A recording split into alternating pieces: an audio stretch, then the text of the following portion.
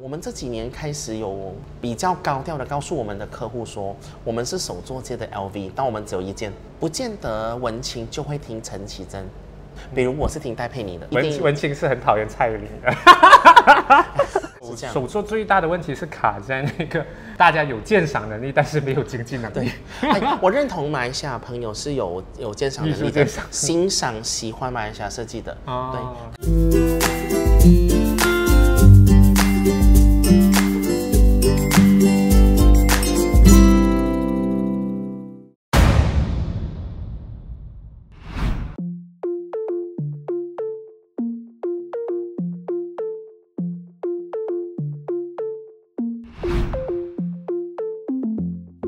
你敢说，我敢播，欢迎大家收看《彬彬有礼》，我是马来西亚男孩郑彬彦。这样子呢，我们今天这一集呢，我们就邀请到了这个手作达人陈月。然后呢，我这个彬彬有礼呢，一向来都是物色一些非常有才华的人。然后我就觉得今天这一集的嘉宾完全符合了这个主题的概念，就是从我上网找你的资料，我发现到你又是这个各大艺术节的艺文活动策展人。然后你曾经又是这个电视节目导播兼制作人，然后呢也是这个作词人，又是这个手作艺术家，然后呢又是讲师，又是旅人，然后呢又是记者，又是作家，又是主持人，又是舞台剧编剧，又是配音员，然后甚至曾经做过这个咖啡馆的老板对你很多重身份呢，所以可以跟大家介绍一下吗？其实你自己的背景，还有你到底从事什么行业？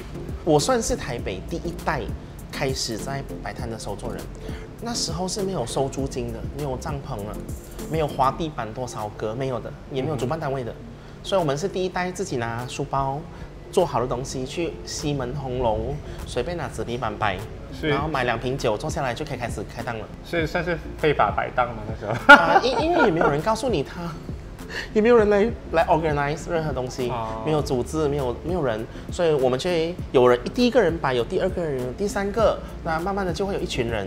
其实手做的定义是什么？是不是手工做的，我们都可以归类掉？其实对，其实手做的定义是归类到亲手制作，叫手做。画一幅画算不算手做呢？是，但是画会被归类到艺术家类了。哦其实我觉得它有在英文字分的比较明细，我觉得。OK 英文名词我们有分为 artist 和 crafter。嗯，所以画画可能会去到 artist，, 对，哦然后很美工类、很手工类都会叫 crafter，、哦但这几年又有一个名词叫 handmade artist，手作艺术家。OK，手作艺术家。哎，然后再从很多名词再延伸，其实蛮蛮多各种名词。其实会重叠啦。对对，就是就算你是画家，可是如果你把那个画画在陶艺上，这样我算算手作也算嘛，对对不对？对，手作到底有什么独特性？是你觉得可能一般上的印刷品是没有办法取代的？哦，好，其其实是因为我做我做手账本嘛，我的品牌在做手账本，嗯。或者你可以称它为笔记本、notebook、journal 之类的。所以我念中文系，尤其我们需要写很多字，嗯，我就发现，哎，我无法我无法用 ball pen，因为我中学开始不会用 ball pen，圆珠笔。对我写的很丑。然后我发现我只能用水水质的笔 gel pen，嗯，然后一一用在马来西亚一般的练习簿，它就会渗透。对，然后我的老师有曾经向我的母亲投诉过，说你孩子浪费钱，因为他每一页作业簿都只写一面，因为隔页写不到啊，它哦它会透下去。然后我进大学的时候，我发现了一个国际名牌，它叫 Moleskine，嗯，非常贵的手账本，但它的纸张就有这个优点。然后除此之外厚吗，它不是厚，它是它纸张的制作过程是比较好的。嗯另外一个优点是，呃 Moleskine 跟我有一个共同点，就是我们可以翻三百六十度。嗯，这是一般我们以前用 size 或者 geographic 的那 look 做不到的。嗯，因为它中间有没有盖板这一块。对对对对对对对。为什么喜欢手作？是因为我发现我希望得到一个贵的、好的包，但它不一定要是 LV。嗯，所以你讲手作有什么优点？是因为我觉得手作一定要在品质上赢了工厂，或者甚至要跟工厂同步。我们没有一本的排版是一样，没有，对，没有，对，对，只有那一本。我们也买，非常小。量的布料来做封面，嗯所以没有一本一样。所以啊、我们这几年开始有比较高调的告诉我们的客户说，我们是手作界的 LV，但我们只有一件。这样子，你怎样看待所谓的 printing 啊，或者是电子化这件事情？你觉得电子化跟这种印刷跟手账或者手作有没有冲突？我没有抗拒印刷，只是我觉得说，如果你追求书写这个体验，那书写的最大要求其实并不是封面的设计，我觉得是因为这本书的好用度在哪里？嗯这本书的纸张可以很好的书写吗？嗯，所以只要如果印刷做到这一点，对我我也是会买啊。可是到最后又回到消费者本身的经济能力，还有他追求的东西，对，不见得文青就会听陈绮贞。比如我是听戴佩妮的哦嘿，OK，对，所以我不一定，文青是很讨厌蔡依林的。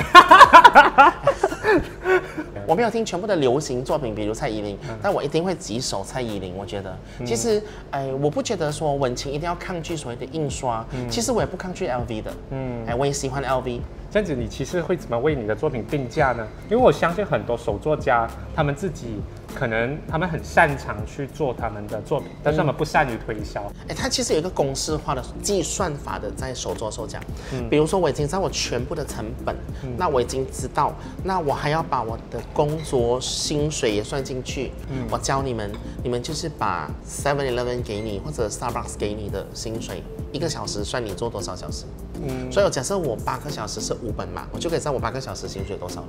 你把这些东西都加起来，就是你的本钱。嗯那你除这五本嘛，包括本呃材料什么都除了，你把还有你的创意呢？对对，都是就是设计费什么都要算完对对对，全部成本算完后，你就拿到一本的本钱了。嗯这个本钱呢，如果你乘一百一十八先，嗯就是人家给你批货的价格。嗯如果你是零售，就乘两百一十八线。嗯，哇，好好好公式化哦。但是我要告诉大家，看起来很简单的计算法，我相信马来西亚可能没有五八线的手作人懂这个计算法。哦，这样子你们手作家会不会这种会你会觉得哇，我花了好多心思，花了好多年才学会的这个才艺，但是对方却把一个你的这个手账本跟普通的一个大众书局买的来比较，说我这个五块钱就可以买到同样厚度，为什么你这个这么贵？会不会遇到？有常常，尤其是早早期，早期我曾经在 Central Market 摆过，我有遇过最可怕的顾客是，他来到你的摊位了，他跟他的朋友解说说，你看这就很容易啊，你回去把你剩下的纸跟布料全部做完就可以卖了，嗯，然后他就把这本书丢在我们的摊位，然后就走去隔壁摊了。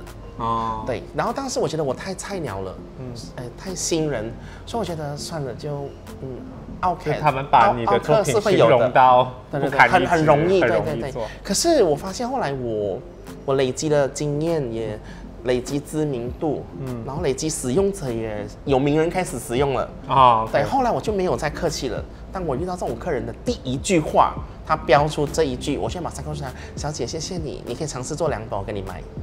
这样子其实马来西亚的人大多数支持手作嘛，在马来西亚做这个手作市集。”马来西亚人会卡在我觉得消费的心理上，他非常喜欢，但他下不了手掏钱。对，这个我也是一样。其实我个人是非常非常喜欢手作的。呃，就是我家附近有一个叫 Starling Mall 的，嗯。它是一个少数一个常常有手作市集在在 shopping mall，然后我每次都看，但是都不舍得买。我觉得最后可能会可以回到马来西亚全呃国家的经济状况、人民收入，哎、因为我觉得如果他很喜欢，他也他应该也就懂得这是产品背后的生产过程、材料和品质，但他最后没有买的原因。是因为消费每个月的预算没有那么多，我是我的是手。手作最大的问题是卡在那个 大家有鉴赏能力，但是没有经济能力。哎，我认同马来西亚朋友是有有鉴赏能力的欣赏喜欢马来西亚设计的。哦对，可是对了，当要买要掏钱买的时候，的确要想一下。嗯，有没有有没有凭着手作家大富大贵，还是你已经是？哎，我觉得我我觉得我没有大富大贵，但我要引用一个朋友看到我的状况。嗯我一个朋友他是在音乐经纪公司当经纪人的，做音乐的。有一次他遇到我，那是很多年前，很多年前了。嗯他很惊讶的讲了一句话，就是他说：“我没有想到你只是靠几张纸，你去了很多国家。哦，其实是因为我早年有去呃上海艺术节啊，嗯有啊，我有从马来西亚出去其他国家，走出去了，走出马来西亚。然后我当时就觉得说，原来我在我朋友眼中是这样的。哦，就是他他们很欣赏你。哎，他们觉得说，对我没有做全职，然后我全职在做手账本，哦而我又能又能去这么多国家，去了这么多国家啊其实我并不是去旅行，我其实去工作或者参加艺术节，同时旅行。对然后后来我有计算过我自己，其实我是能维生的。哦，对，然后能当当维生啦，但是不至于大富大贵。对对对，能维生。可是我觉得有一个很重要的点是，当你知道你没有店面，或者你没有能力开店，或者你没有每个周末有艺术市集的时候，你要怎么做生意？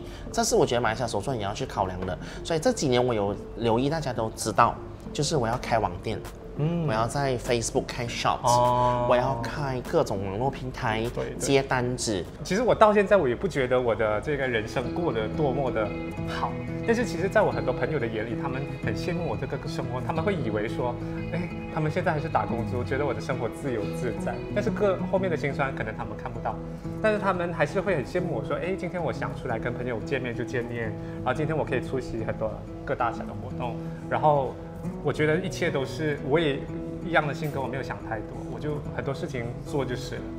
就是你想做的东西，你就坚持继续做，你一定会拿到你想要的成绩。是只是看它的成绩是来得快还是慢。哎，对，然后当然每每个人对梦想的付出跟收获，你不能要求说你已经选择了梦想的职业，然后你一定在第一年就可以买房子，对对，就你不能设这种标准。嗯对，所以我我觉得只要你的这种设定是健康的，嗯，健康状况呢是 OK 的。之前做这个这档节目的时候，就有人说，哎，为什么你都是介绍一些可能非常冷门的，或者是比较小众的？好啊，对，但是我就希望呢，透过这个节目，让更多人认识到这些多才多艺的人。所以呢，我觉得今天就很开心，能够透过这个彬彬有礼的介绍这个手作达人给大家。所以呢，如果大家如果真的想要认识更多手作的详情的话，可以关注你的 page，来可以分享一下吗 Page 你的是什么 page？加减乘除，加减乘对除，，或者打小老鼠，小老鼠就是一个 A 一个圆圈，就找到了吗？对，小老鼠 CY Studio 就找到了。好，今天的这个影片呢就到此结束。然后，如果大家喜欢这个影片的话，就是记得按赞、分享以及订阅我的频道。我们下个影片见，拜谢谢，拜拜。